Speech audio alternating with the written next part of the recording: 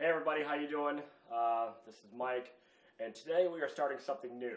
I'm going to call it the No Sugar Challenge, where everybody's lighting yourself on fire, dumping buckets of water on their head, taking glasses, sucking them to their face for the Kylie Jenner Challenge. Those really don't mean nothing. ALS, throwing a bucket on your head, is more uh, exciting to watch the bucket fall out of people's hands and the bucket land on somebody's head. Okay, I watched a lot of videos like that. But today we're having overweight and obesity awareness. Okay, so we're gonna start the No Sugar Challenge. Really, what the, what the challenge entitles is going to the grocery store and buying stuff that contains the least amount of sugar or no sugar at all. All right, it's really that simple. We know now with the studies that have been done, sugar refined sugar is the major number one cause of, of overweightness and obesity in America, if not around the world. Refined sugar. Okay? All this trans fat, all this no cholesterol, all this other crap that, that are marketing gimmicks, low fat, fat free, that means nothing. Nothing, nothing, because all they do is just load it up with more sugar. All right? So, um, what we're going to do is uh, we just went grocery shopping, and this is me and my wife's typical routine that we do. Uh, so we try to cut down our sugar intake by as much as possible. Doesn't mean that we don't have sugar. Of course, it's it's almost impossible to try to find stuff without sugar in a grocery store. So what I'm going to do is take you on a little tour of our refrigerator of what's in your refrigerator. So here we go. Okay, so here we go. Let's open her up. Okay, so this is pretty typical. This is not nothing new. I didn't do this just for the video. Um, this is pretty much how we eat. You know, uh, my wife is used to eating healthy, so there's no reason why I can't eat healthy. So right here we have some uh, some lettuce, spring mix. We have some kale. I have some fruit that I cut up from a while ago. We have some celery. Um, we have some meats. You know, I like salami. I know it's not the most most healthiest. And then we got some uh, some ham here, uh, eggs, you know, feta cheese for my salad. You know, you can see though, no no sugar. You know, uh, back there we got some some mushrooms. And here we got some cottage cheese. My wife likes that. I, I don't. we got some pickles. We have more pickles. Back here we have some spaghetti sauce. That has sugar in it. I just want a little bit for my spaghetti. It's the first time I ate it actually in months. So I got some, some cut ham, some bacon, some pork sausage. We just bought this today. Polina, basil, and garlic. I guess you heat this up. It's kind of like a cream that you put on some things. First time trying it, so, but you know, uh, the key uh, ingredient that we're looking for is sugar, and there we go. No sugar. All right, sugar is zero. Okay, so down here we have some honeydew melon. Got some milk in the back there you know, vitamin D milk, the red top. Got some cantaloupe, red grapes, green grapes. Inside our fresh drawer, we have, you know, I can't really see it that well, but a ton of cucumbers. We have some beets, because my wife likes to make borscht. We got some peppers here. Uh, we got some ginger root, which we make for our our mean green juice. All right, we got some lemons. All right, what else do we have here? We have some, uh, you know, onions, carrots. Uh, let me see what else. Hold on, let me stop this thing from beeping. Here we go. Okay, down here we have some cabbage, tomatoes, broccoli. I'm not a big fan of broccoli. Okay, so in our freezer we have some scallops. We got some turkey meat, turkey ground, ground whatever meat. We got some Smithfield bacon, you know, we got some uh, chicken here, bone chicken. Good old favorite vodka, cheap stuff right there. All right, so that's what's in our freezer. Okay, down here we have our sauces. Now, this is really a, big thing because everybody, you know, likes to eat sauces with everything here in America, okay? Just what we do. So, you know, obviously mayonnaise, we, we know that that's, well, it's fattening, but zero sugar relish. It's got a little bit of sugar here. Hold on a second. Let me stop this thing from dinging. All right. Uh, honey mustard. Honey mustard, I mean uh, Dijon mustard typically has no sugar. You see there's no sugar in there, okay? Now, my honey mustard I like, of course, it has sugar. I know that for a fact. Let me see.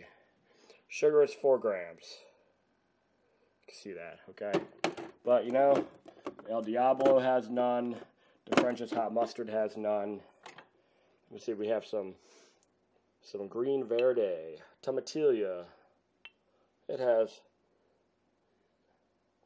one gram of sugar. Now, four grams of sugar is equivalent to one teaspoon of sugar, just to give you an idea. Okay? We have more salsa, more salsa. My wife's uh, City, City Steam, the Naughty Nurse beer. It's probably to taste like crap. Down here, of course, you know, we have a host of other things. Sesame oil, no sugar, sweet and sour sauce, of course, loaded with sugar, A1 sugar, horseradish, no sugar, cocktail sauce, no sugar.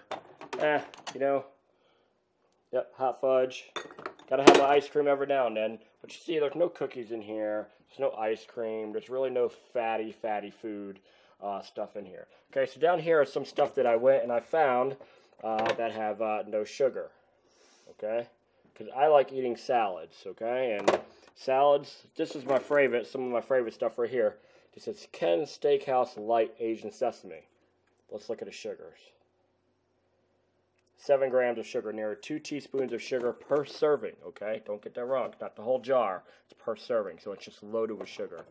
Obviously, lemon sauce. Here we have some Italian. Zero sugars. This is Drew's. Had a lot of them with zero sugar, so um, roasted chili Thai garlic.